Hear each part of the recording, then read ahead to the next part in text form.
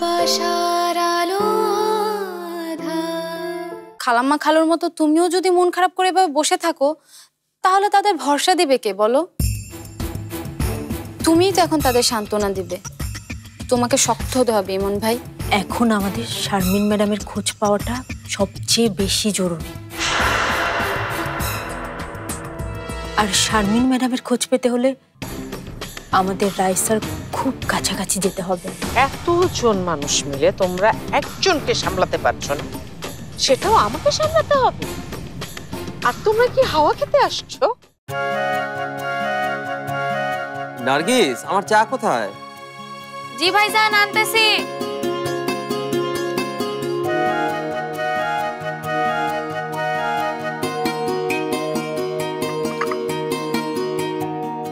ইমন ভাইজান আপনার চা।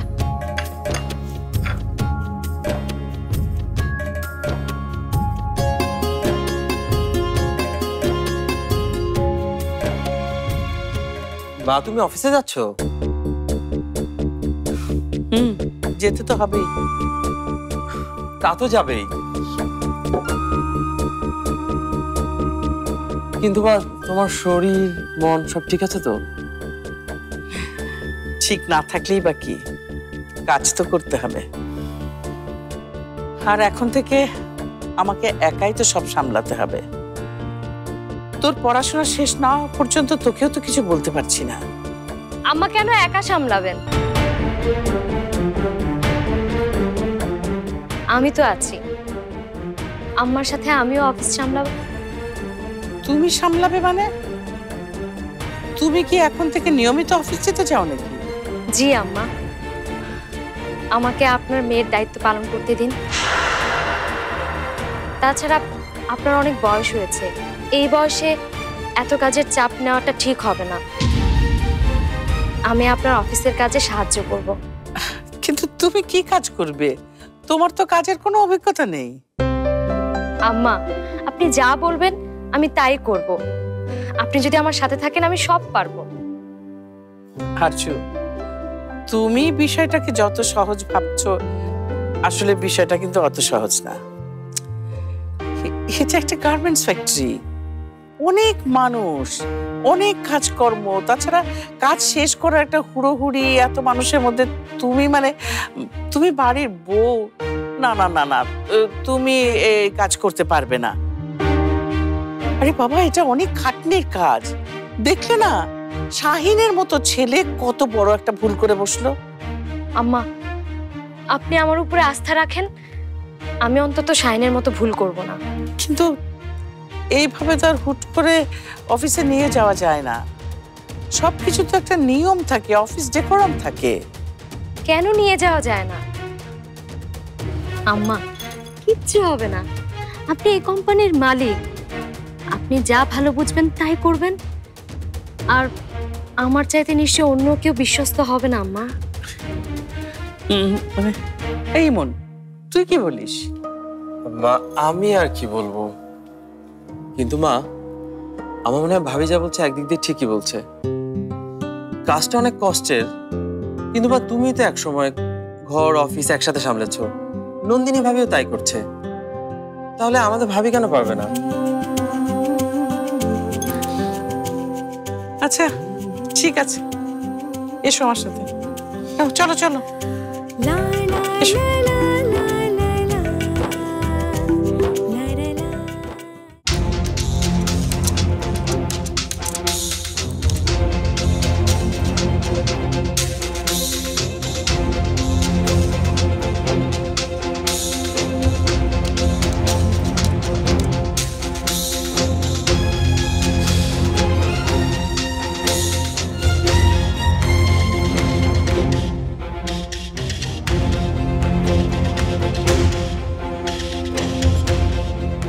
ডেকেছি একটা সুসংবাদ দেওয়ার জন্য।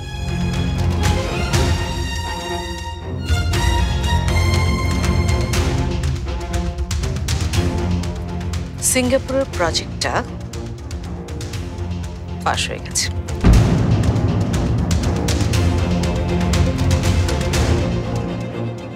নন্দিনী অভিনন্দন তোমাকে। স্মরণের ছয় তোমার উপমায় বদলে দিলে যে স্যান্ডেলিনা সো রূপচর্চায় আভিজাত্য।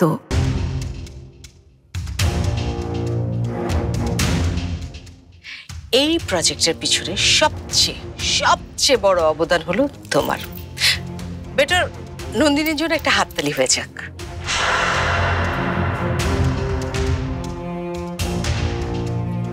আরে বাবা ওর অন্তত একটা হাততালি পাওয়া তো উচিত নাকি?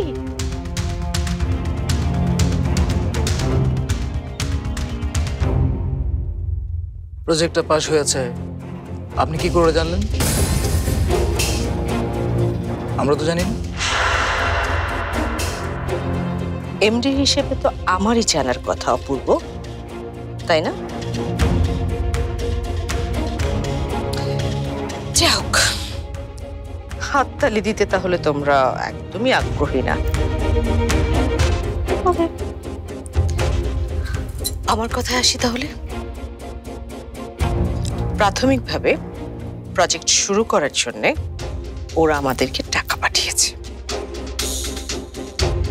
টাকাটা আমি আমার অ্যাকাউন্টে জমা করে নিচ্ছি। এক্সকিউজ মি আপনার অ্যাকাউন্টে কেন? অফিসের টাকা অফিসের অ্যাকাউন্টে থাকবে। কাল সকালে প্রোডাকশনের লোক আসবে। ওদেরকে টাকাটা দিয়ে দিতে হবে। সিঙ্গাপুরের ওরা কিন্তু খুব দ্রুত রেজাল্ট দেখতে চায়। এক মাসের মধ্যে রিপোর্ট পাঠাতে হবে। আপনি আমার কথা এড়িয়ে যাচ্ছেন কেন? কেন এড়িয়ে যাচ্ছেন? দাঁড়ো দাঁড়ো কোন কথাটা? আমি কোন কথাটা এড়িয়ে গেলাম?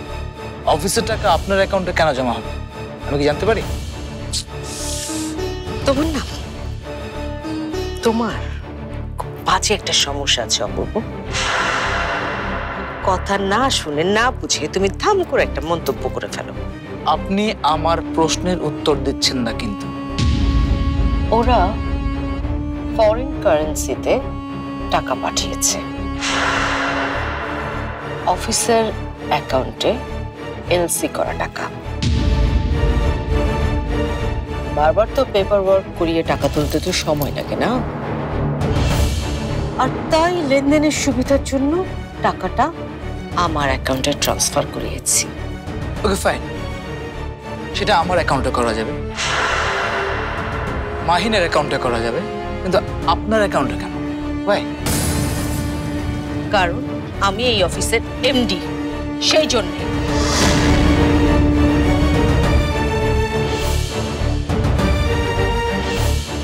আমার মনে হয় কি, ম্যাডাম, অফিসের টাকা অফিসে রাখাই ভালো।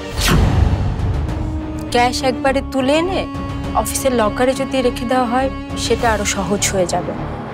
আপনি কি বলেন? ও, তাই না? আচ্ছা দায়িত্ব কে নেবে? তুমি? সামলাতে পারবে তো? টাকার অঙ্কটা কিন্তু অনেক বড়। কোটি টাকার উপরে। পারবে সামলাতে?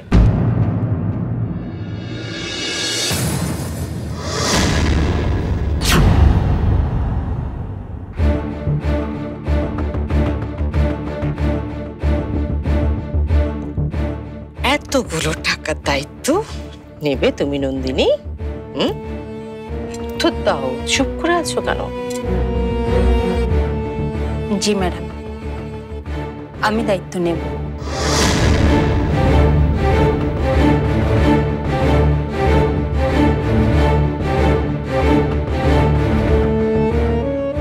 ঠিক আছে।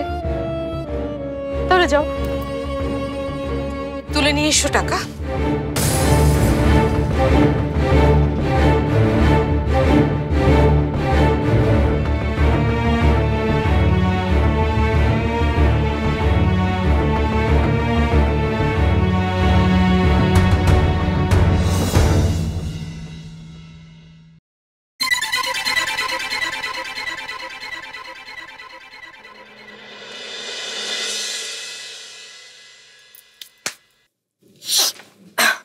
কি?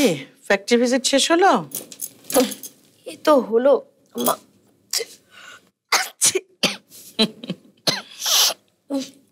যা ধুলো।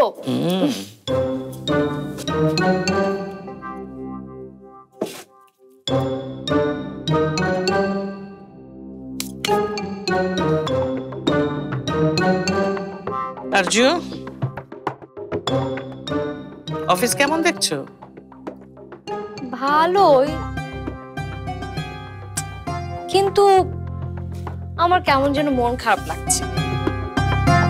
কেন? মন খারাপ কেন? না মানে আমাদের এত বড় ব্যবসা এত বড় কোম্পানি অফিসটা কেমন যেন ছোট হয়ে গেছে।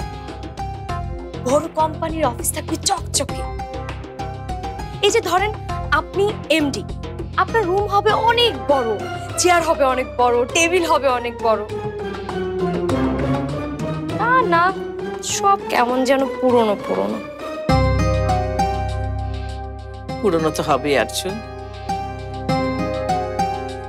এই অফিসের বয়স তো আর কম হলো না।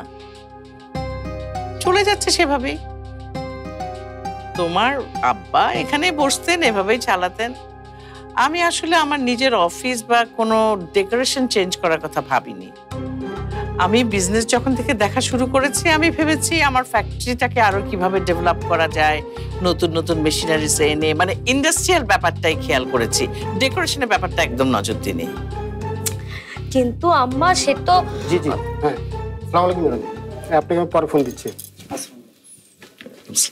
কেমন আছেন ম্যাডাম? ভালো। আপনাকে অনেকদিন পর দেখে খুব ভালো লাগল। এই বক্সটা রাখো এখানে দেখে চলে যাও। ম্যাডাম আপনি আসছেন খুবই ভালো হলো। এখানে কিছু স্যাম্পল আছে আপনি যদি একটু দেখে দিতেন তাহলে আমি প্রোডাকশনে পাঠিয়ে দিতে পারতাম। আচ্ছা ঠিক আছে আমার তো এখন একটা মিটিং আছে তুমি একটা কাজ করো। এগুলো ওয়্যার হাউসে দিয়ে দাও আমি সবগুলো একসাথে চেক করব মিটিং শেষে আমি ওখানে চলে আসব কেমন? জি. জি ম্যাডাম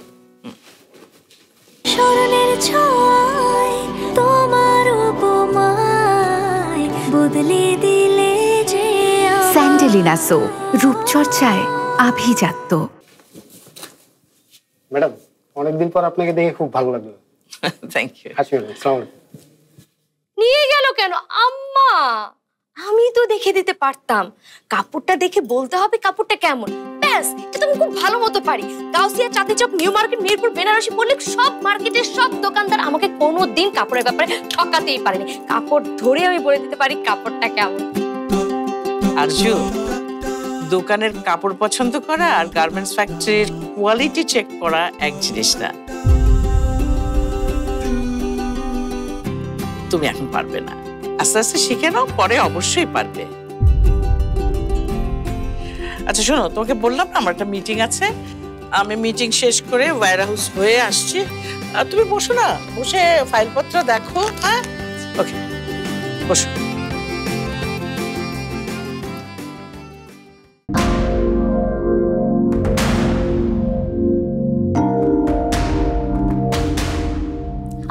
না। আর উনি পেরে একদম উল্টিয়ে ফেলছে। আস্তে আস্তে শিখ। কেন? আস্তে আস্তে শিখতে হবে কেন?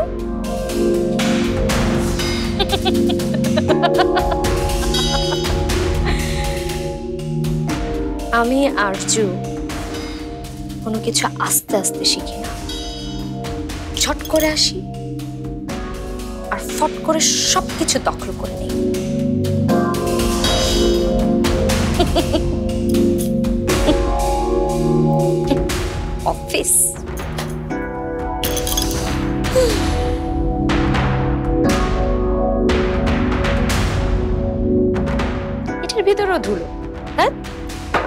গরিব গরিব বিষয়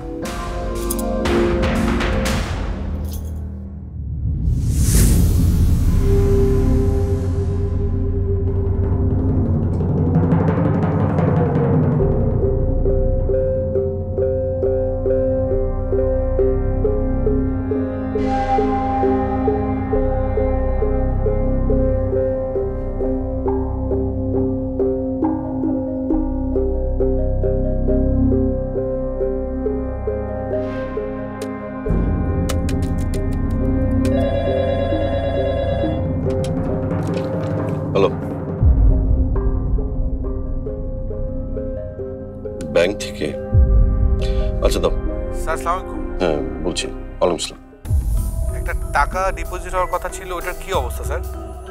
না ওটা আপাতত আমার অ্যাকাউন্টে ঢুকছে না। স্যার আমাদের দিক থেকে কোনো প্রবলেম না এটা আসলে আমাদের অফিসিয়াল ডিসিশন ওহো সরি স্যার। স্যার আমাদের দিক থেকে কোনো প্রবলেম হলে আমাদের সাথে সাথে জানাবেন কিন্তু। হ্যাঁ অবশ্যই অবশ্যই আমি জানাব। এখন তাহলে রাখি? জি স্যার। আসসালামু আলাইকুম স্যার স্যার।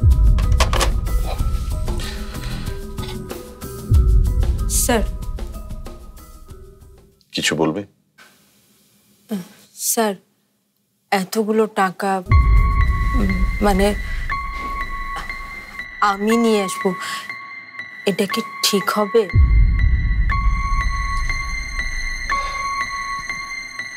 তাহলে কি করলে ভালো রাইসার হাতে তুলে দেওয়াটা কি ঠিক হতো? তুমি বলো। যাকে আমরা ভালো করে চিনি না। জানি না। এতগুলো টাকা তার হাতে তুলে দেব? আর তাছাড়া তোমার মতো এত বিশ্বস্ত লোক এই কোম্পানিতে আর কে আছে?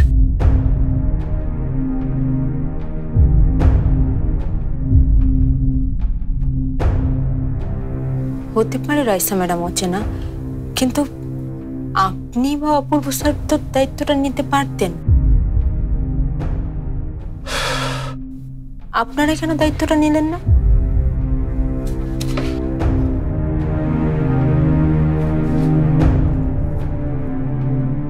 স্মরণের ছয় তোমার উপমায় বদলে দিলে যে। স্যান্ডেলিনা সো রূপচর্চায় আভিজাত্য। আমি বা অপূর্ব দায়িত্বটা নিলে রাইসা সেটা কোনোভাবেই পছন্দ করতো না। তুমি কেন সেটা বুঝতে পারছ না নন্দিনী? তুমি দেখলে না অপূর্বর সাথে রাইসা কি খারাপ ব্যবহারটাই না করল? আর শোনো নন্দিনী তুমি দায়িত্ব নেওয়া মানে কিন্তু আমি দায়িত্ব নেয়া। তারপর এতগুলো টাকার দায়িত্ব আমি নেব। কিন্তু স্যার কোনো কিন্তু নয়। আর আমি তো তোমার সাথে যাবই। এটা নিয়ে আর একটা কথাও তুমি এখন বলবে না। ওকে